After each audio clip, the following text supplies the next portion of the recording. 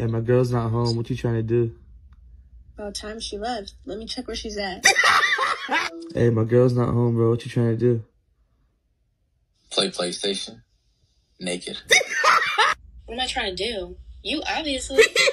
Oh, bet. I'm about to stop at the gas station to get some royal honey. Want anything? Shit. I'm on my way. yeah, I know she's not home. Where do you think she's at right now? I'll give you a sneaky peek. I want to get drunk and nasty. Say that again. I'm not trying to do anything. I'm not coming over there just for the last five minutes again. Same thing we did yesterday when she was sleeping in the other room. Wait, are you home alone? Yeah. So am I. I'm already one step ahead of you. What? What?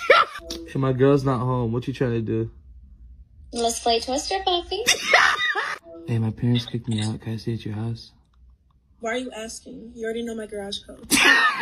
Hey, bro, my parents kicked me out. Can I stay at your place? Yeah, I'm sure we could fit on a twin bed together. Are you sure you want to stay with me? Wasn't I the reason you got kicked out? No? Wait, are we sleeping in the same bed? Yeah.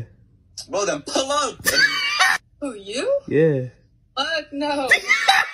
You got cash at? For what? Rent?